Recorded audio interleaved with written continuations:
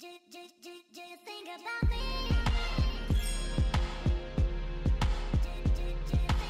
name's Haydon, I go to the University of Hertfordshire, studying music management, and I'm 20. My